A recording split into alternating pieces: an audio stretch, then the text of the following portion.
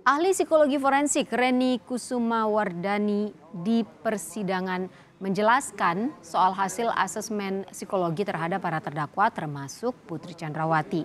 Reni menjelaskan Putri Chandrawati memiliki kecerdasan rata-rata orang seusianya. Putri bisa memahami nilai sosial namun perencanaan perilakunya kurang. Sementara Verdi Sambo memiliki kecerdasan tinggi Ibu Putri Chandrawati memiliki kecerdasan yang berfungsi pada taraf rata-rata orang seusianya. Jadi uh, berbeda dengan Bapak FS, Pak Sambo yang memang memiliki kecerdasan tinggi. Hal ini menggambarkan kemampuannya untuk dapat memahami informasi dan menyesuaikan diri dengan tuntutan dari lingkungan sesuai dengan orang pada umumnya.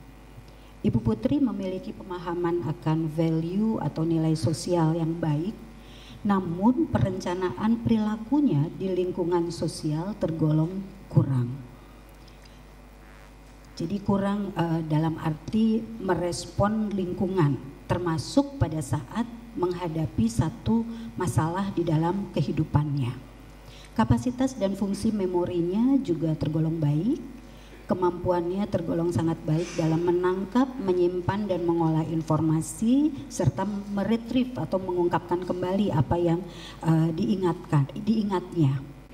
Jadi memiliki kemampuan dalam berespon secara cepat terhadap tekanan dari lingkungan dengan potensi intelektualnya itu dan kapasitas memorinya yang baik, dia bisa berpotensi mengembangkan pemikiran yang logis dan rasional, memahami stimulus sosial dari lingkungannya untuk bisa berespon secara tepat dan sesuai menurut keyakinannya. Oke, ini dalam BAP Ibu saya bacakan saja. Ada ya.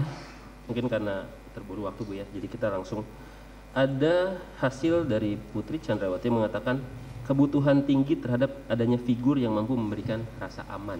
Iya. Maksudnya itu apa, Bu? Iya.